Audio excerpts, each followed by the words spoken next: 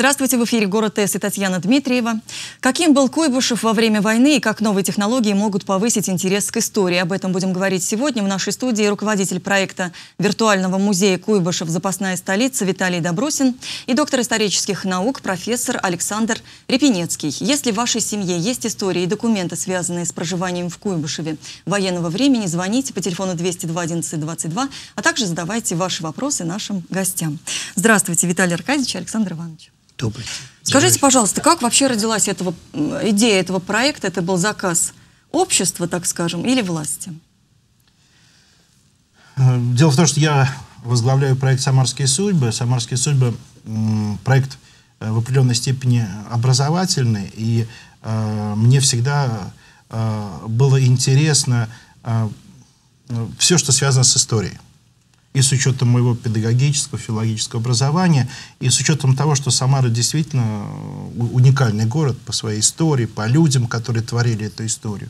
И самый значимый, самый статусный момент, который был у Самары Куйбышева, и я думаю, что профессор Александр Иванович Репенецкий не будет с этим спорить, вот самого высокого статуса угу. наш город добился именно в 1941 году.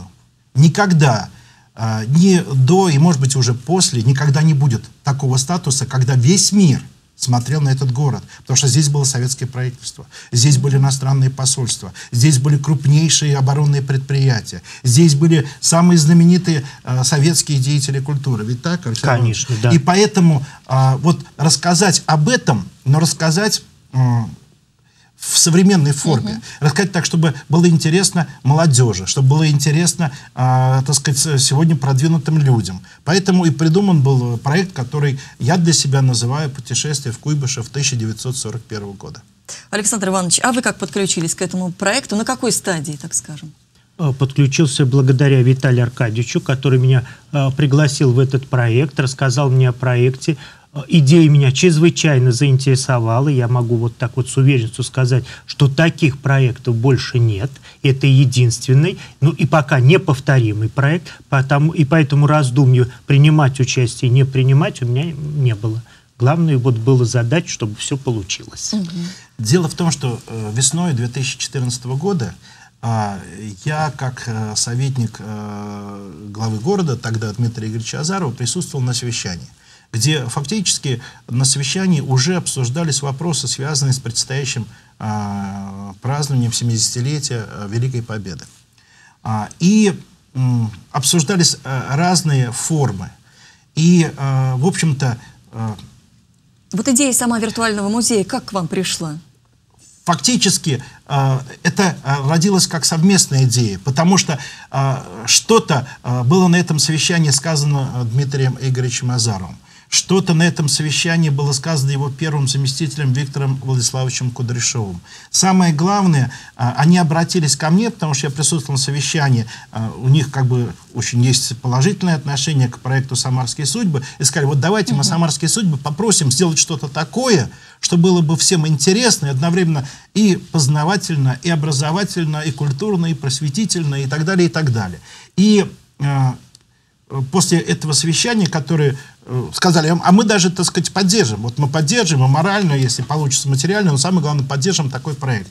И вот э, мы начали думать, э, как это реализовать, потому что нужно было и команду сформировать, и придумать, что это будет. И вот так родилась идея необычной 3D-карты, 3D-карты Куйбышева 41 года. Даже 3D-карта. Ну, То есть да. карта, которая фактически ты оказываешься на улицах Куйбышева. А, ты можешь путешествовать по этим улицам, ты можешь заходить в здание, а, и там, где Александр Иванович проводит э, видеоэкскурсии, а, и на площади Куйбышева, и там, где находились посольства, и там, где находился бункер Сталина, и там, где находились, так сказать, э, культурные учреждения, там, начиная с Большого театра и так далее, там, где Шостакович впервые была исполнена седьмая симфония Шостаковича, там, где в гостиницах жили иностранные журналисты, и там американские, и японские дрались, дрались между собой в тот день, когда случилась ситуация с Перл-Харбором. То есть а, Александр Иванович это все рассказывает, причем рассказывает очень интересно. И а как вы рассказываете, да. Александр Иванович? Как вы проводите экскурсии? Вот я сейчас услышала, там Александр Иванович проводит экскурсии. Это что значит? На месте. На месте. Мы, это как выглядит?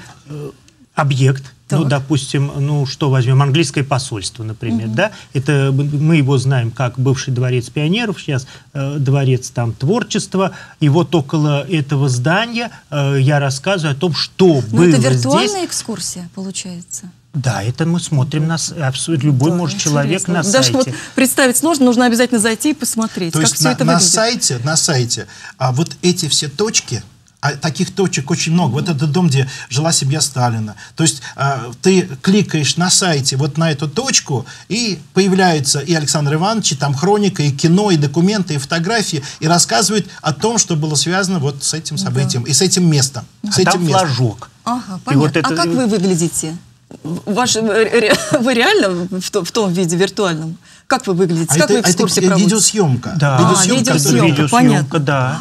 Совершенно новая какая-то Я хочу идея. пояснить. Вот я говорю, это уникальный Да. проект. Когда э, мы формировали команду, когда мы формировали команду, э, для меня, конечно, одним из важнейших моментов э, была, э, так сказать, вот было участие э, Александра Ивановича Репенецкого. Я приехал к нему, приехал к нему в кабинет, мы приехали с Сашей Игнашовым, э, нашим заместителем главного редактора, и я вот Александру Ивановичу коротко рассказав, в чем заключается проект, И зная, что Александр Иванович, в отличие от некоторых других э, деятелей культуры и педагогов, которые активно сотрудничают от СМИ, со СМИ, то Александр Иванович обычно в тени, и он не очень активно со СМИ. Как бы. У вас Но- была такая интересная оговорка, Да. сотрудничают от СМИ. да, ну, вот как вот. раз. Но дело в том, что именно Александр Иванович Репенецкий фактически основные все свои научные работы, все монографии посвятил Куйбышеву времен войны. Да. И поэтому, когда эти экскурсии, видеоэкскурсии, там на карте будет проводить, извините, профессор, который всю жизнь посвятил этой тематике, это особое доверие будет. Конечно. И поэтому я Александру Ивановичу вот приехал, говорю, Александр Иванович, вот такая идея, э, ну, сколько, ну вот я вам предлагаю, это будет очень интересно. Да, это будет сложно. Это действительно потом оказалось сложно. Александр Иванович расскажет, как он ночами не спал, когда в 5 утра там у них съемки начинались. Вот, но это будет сложно. Но, но поймите, зато вы как бы навсегда войдете в историю. Да, потому что пройдет там год, а вас будут смотреть на всех этих точках много-много Да, раз. действительно, Виталий Аркадьевич все говорил. Но тут вот Я вот хочу у сказать, нас- что к нам поступают уже первые реплики от телезрителей. Продолжайте звонить, задавать вопросы. 202 11 22. Лев Владимирович Григорьев, я хочу сказать вам спасибо за ваш проект «Самарские судьбы». Прошу вас продолжать его. Он действительно интересен людям. А я, в свою очередь, хочу спросить, от «Самарских судеб» вот в новом проекте есть что-то? Или нет? Вот вы так сказали, что вот у меня есть проект, и вот новый, а все-таки что-то Ну, взяли? Дело в том, что этот проект, конечно, автономный. Автономный проект, который создавался, осуществлялся при поддержке администрации города. И я э, готов это говорить, и я э, и, э, сегодня буду говорить о том, как Виктор Владиславович Кудряшов прям с первого дня, с первого дня вот курировал этот проект, проводил совещания там каждый месяц, как развивается проект, какие-то проблемы, потому что поначалу как-то он не очень активно развивался, нужна была поддержка, и э, здесь э, я хочу сказать, что вот его помощь, конечно, очень большую роль сыграла. Э, нам повезло, опять же, ну, это наша работа, мы нашли очень талантливых ребят из фирмы «Лаборатория Интернет», ребята, которые э, сумели создать эту карту, эту карту, потому что а, она действительно как живая. И ты действительно вот на эти здания, на эти вот, э, которые выглядят кубиками, игрушечными, так интересно сверху с высоты птичьего полета смотреть.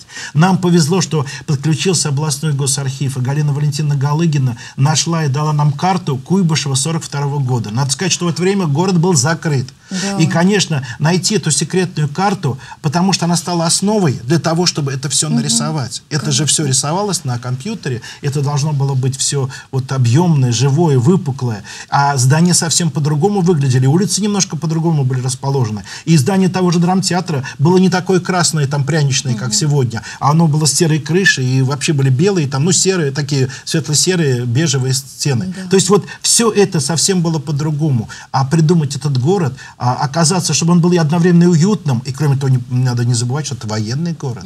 Поэтому не надо из этого делать какой-то сказочный, извините, изумрудный город. Это должен быть военный город. Все это, ребята, опять же, из лаборатории интернет совместно с нами, все это было сделано, я, конечно, очень благодарен. Александр Иванович, а остались еще белые пятна в Куйбышеве военных лет. Вот вы как Конечно. историк, какие это Конечно. пятна? Потому что все знаковые события мы знаем, да? Вот сейчас вот Виталий Аркадьевич перечислил. Вы даже. знаете, вроде бы с одной стороны мы знаем знаковые события, с другой стороны можно сказать, что мы их не знаем. Э, парад 7 ноября. Все знают, да, проходил, и только сейчас вот э, появляются документы, в частности, открыт фонд Молотова в Совнаркоме, который нам показывает вот все это значение парада, как он готовился и какую он роль сыграл том, чтобы и Япония, и Турция умерили свои амбиции и не вступали э, в войну. Это уникальное совершенно событие, и вот в, в проекте Куйбышев 1941 год это как раз вот тоже э, все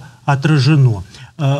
Про еще один вопрос. Почему именно э, Куйбышев стал столицей? Ну, это, наверное, самый да, главный вопрос. Самый главный вопрос. Вот пока никаких документов у нас нет, есть воспоминания, где говорится, что вот рассматривались два города, Куйбышев и Свердловск. Но Свердловск это за Уралом, это значит, надо было всю европейскую часть фактически оставлять и переносить правительство за Урал, что было, конечно, в тот момент недопустимо и для мировой общественности, и для нашего населения. А тут все-таки Куйбышев на Волге стоит. Э, это центральная часть России, Поволжье.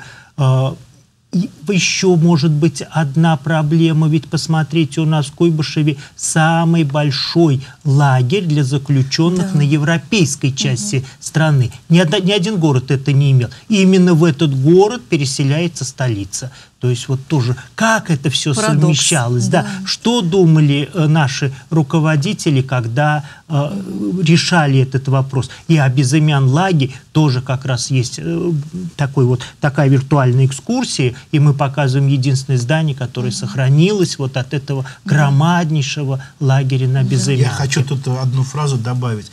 Дело в том, что нам очень хотелось. У нас же в основном на карте прежде всего историческая часть города. Да. Нам очень хотелось сделать карту безымян лага. Угу. Ни одной карты сегодня в архивах угу. не сохранилось. Нету карт, они были уничтожены, а может их не существовало. Но сохранились уникальные э, съемки, которые сделаны были э, немецкими э, разведчиками с самолета, э, которые были сделаны, э, карта всего безымян лага, снятая с самолета. Угу. И вот из этих отдельных карт э, наши ребята составили как бы вот единую карту с бараками, со, со всеми там, э, так сказать, э, учреждениями, э, со всеми зданиями, сооружениями. И э, фактически э, там на нашем сайте две карты. Угу. Одна карта вот исторической угу. части города, а другая, как вот такое приложение необычное, это карта безымян лага. И поэтому э, вот э, карта, э, которая на самом деле фактически создавалась, но опять же э, и э, нашими программистами, но, конечно, все согласуя э, с Александром Ивановичем, мне кажется, это один из таких ярких моментов этого проекта. Но я хочу сказать, что ваш проект уже активно обсуждают в интернете. Угу. Я сегодня посмотрела отклики и комментарии. Вот как раз э, один из них. Жалко, что на карте в реале только центр, который и так неплохо известен. А вот безымян лак не раскрыт. Как? Вот вы может согласны, быть, они не дошли То есть можно еще по и не карте, дойти? да, а. вот может быть так, но про безымян лак большой сюжет Понятно. на карте. Хорошо. На... Следующий э, телезритель Но дело в том, Ирина... что я вам скажу пример один. А, я э, вошел на один сайт, который часто посещаю и достаточно люблю, и там был отзыв на наш проект, угу. ну, как в новостной ленте, и там написано было а, журналистам, а, что вот интересный проект, жалко, что там нет ни слова о безымян лаге. Вот. И я не выдержал, я позвонил этому журналисту и говорю, «А, вы зайдите на сайт, там отдельные карты, мы считали да. своим достижением, а, ну, вот, значит, что отдельные дошли, карты безымян вот лага, там столько уникальных, там только на безымян лаге на территории. Александр Иванович проводит четыре экскурсии. Четыре экскурсии на разных местах, где авиационный завод, ТЭЦ. где вот э, ТЭЦ, где памятник э, Ил-2 сегодняшний, да. а, там на этом месте, где памятник Ольги Санфировой на этом месте. То есть там четыре э, точки и четыре э, видеоэкскурсии как раз на месте безымян лага. Поэтому а, он после этого позвонил, а, он позвонил, извинился и сказал, я, я нашел, я просто ну не вот. нашел ну сразу. Ну, вот, я тоже да. думаю, ну, что и это... Ирина, наша телезрительница, да. спрашивает, как посмотреть карту Самары, про которую вы только что говорили? Значит, это сайт очень легко запоминается, а, домен а, сам, а, www.samara1941.ru То есть Самара 1141. Угу. Поэтому просто набрать в поисковой как бы строке, да, Самара 1141, и тебе откроется и, и все, сайт. И все, тут ничего больше. Еще одно место такое тайн, которое мы все знаем, это бункер Сталина. Это как раз тоже время война Великой Отечественная. Скажите, пожалуйста, исследования продолжаются вот в связи с какими-то разгадываниями этих тайн, и я хочу узнать о судьбе тех метростроевцев, которых прислали из Москвы, их было, по-моему, там несколько сотен человек, вот их, а, они уехали обратно. Вот вы да, как-то связывались да. с ними, с детьми, может быть, с тех метростроев, чтобы вот восполнить картину, потому что вот как я посмотрела документальный фильм про Ильдара Рязанова ваш, он как раз говорил, что были метростроевцы, и никто не знал, что роют вот этот э, Бункер. Бункер из, из местных жителей, которые рядом там жили. Да. Вот Вообще уникальное, про, абсолютно уникальное строение, 34 метра в, груби, в глубину. Это надо было ведь вырыть. И действительно, никто абсолютно не знал. Э, метростроевцы э, благополучно все вернулись домой. И вот у нас есть такие спекуляции, что их расстреляли. Это совершенно неверно э, на настоящее время жив один из строителей, ему уже за 90 лет, но с ним пытались, э, так скажем, у него выведать угу. какие-то тайны, но это человек старой закалки, он очень угу. четко сказал, я давал подписку о неразглашении и ничего говорить не буду. Э, непосредственно документы о строительстве, они до сих пор не открыты, то есть нам очень сложно вот э, в всяком случае, имена, вот фамилии этого пока угу. у нас э, Понятно. Я просто, нет. извините, хочу в свою очередь сказать, что я переписываюсь сегодня с человеком, угу. с сыном вот этого угу. строителя, одного из строителей, который таким юношеским мальчишеским взором все оценивал всю эту ситуацию, и там есть элементы быта, как они жили, то есть вот он может предоставить какие-то документы, если они вам потребуются. Конечно, конечно. И я в свою очередь хочу спросить, чем вот этот проект связан с Самарой сегодня? Есть ли вот эта связь? Или это вот мы уходим в прошлое? Заходим в этот проект и уходим в прошлое? Вы знаете, на самом сайте есть раздел, который называется «Самара сегодня». А, ну вот. А, дело в том, что вот когда мы этот проект создавали, ну, есть такое понятие, да, по Станиславскому сверхзадача, да, вот, э, конечно же, мы не просто хотели увлечь, развлечь, сделать интересным вот это времяпрепровождение, причем интересным не только для самарцев. Я очень рад, и вот отклик, который я получаю, это отклики со всего мира. То есть со всего мира, и людям нравится, людям интересно узнавать о Самаре и угу. узнавать о военном времени в Куйбышеве. Вот. Э, дело в том, что главная э, задача была все-таки показать, а, какой подвиг а, совершил наш город, который взял на себя роль столицы Советского Союза. Ведь в документе, который был подписан 15 а, октября 1941 года справками Сталина, красным карандашом, там фактически написано перевести столицу СССР в город mm-hmm. Куйбышев. Там так написано, столицу СССР в Куйбышев. И наш город справился. Вы знаете, когда вот в там, в 60-е, в 70-е, 80-е годы присваивали городам нашего Советского Союза э, звание городов-героев, мне было очень обидно, что Куйбышеву не присваивали. Мне это было страшно обидно. Не потому, что вот я ну, как бы самарец, да, куйбышевец, а потому что если взять вклад угу. Куйбышева, взять роль Куйбышева во время войны, это уникальная роль. Это сложнейшая, важнейшая роль. И при этом а, наш город не называется городом героев, который фактически был столицей, угу. запасной столицей в течение 41-42 да. годов. А, поэтому а, важно а, вот этим проектом а, и рассказать о том, Э, о героизме наших людей, куйбышевцев, угу. во время войны. А, и одновременно воспитать у молодежи вот уважение, уважение к подвигу угу. нашего народа во время войны, потому что, наверное, это вот самое главное. И поэтому не случайно мы в Самаре сегодня, там есть такая новостная лента, где каждый день обновляются новости, рассказывающие о работе школьных музеев, э, города Самара, а у нас их более 80.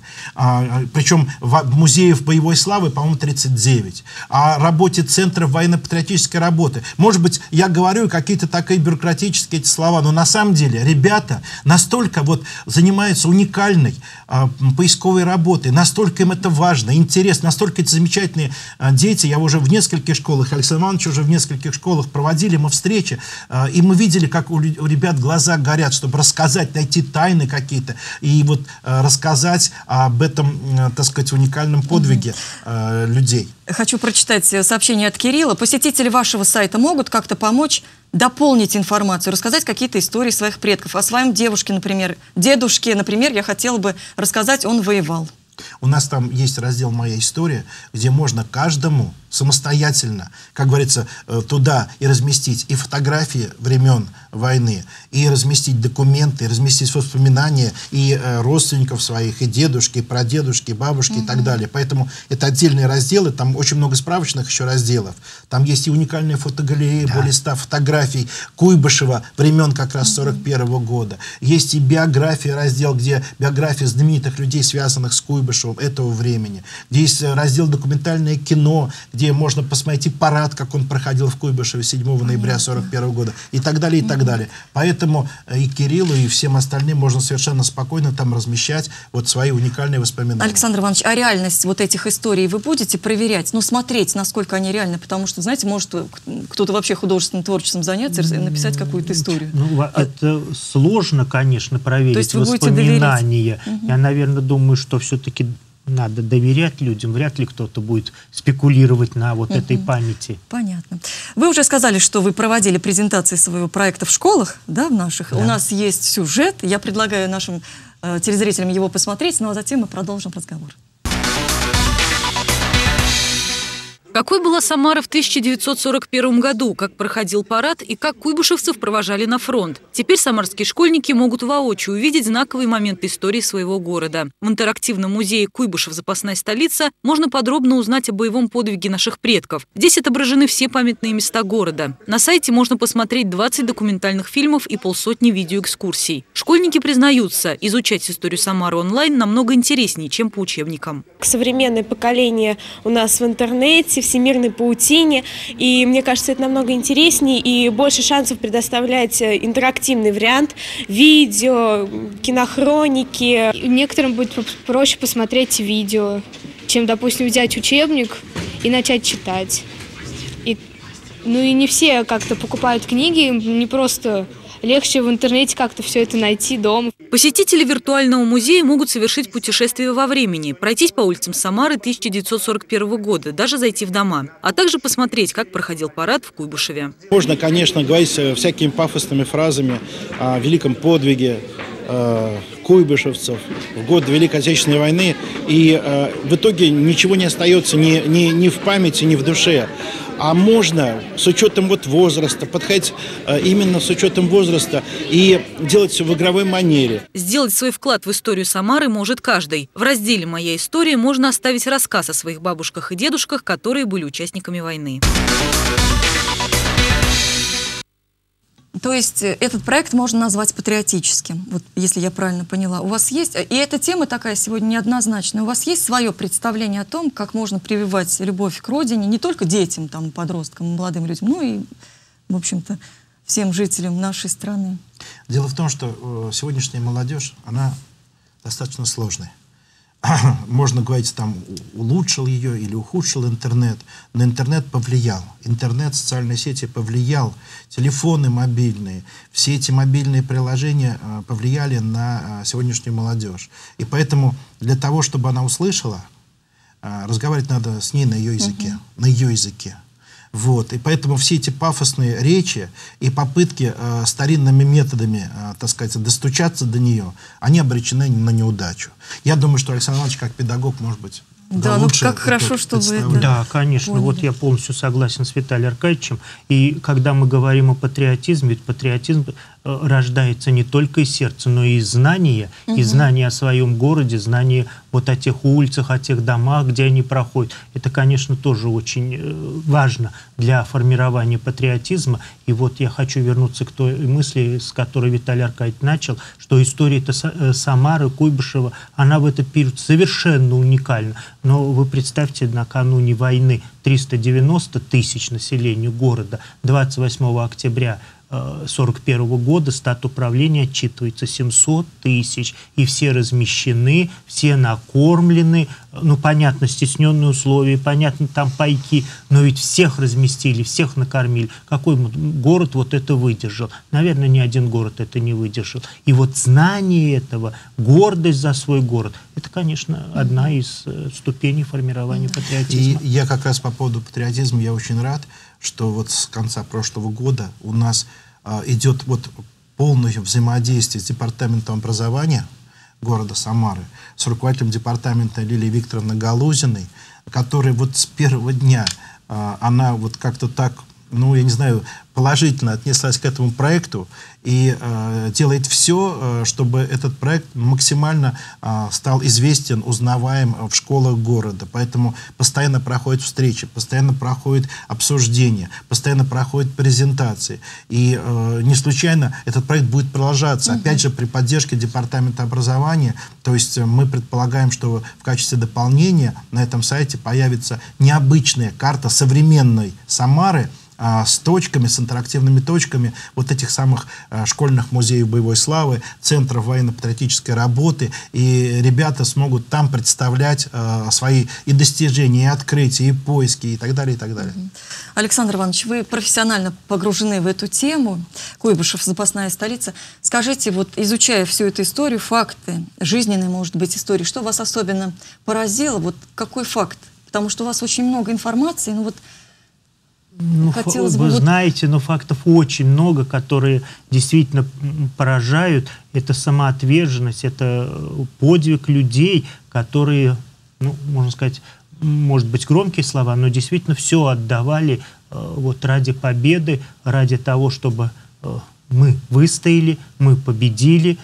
Ну и, наверное, факт, но я его уже вот приводил, это Попков, так, он был генерал, руководил авиационным полком, он приезжает в Куйбышев, чтобы получать самолеты, едет на авиационный э, завод, его у ворот встречает женщина, которую не пускают на завод, и она его просит, вот э, у меня сын, Э, ему 13 лет, он работает на этом заводе, и третьи сутки не приходит домой. Узнайте. Он в своих воспоминаниях пишет, что после того, как он получил самолет, он пошел в этот цех, который она называла, нашел этого мальчишку, он стоял и работал на, на станке.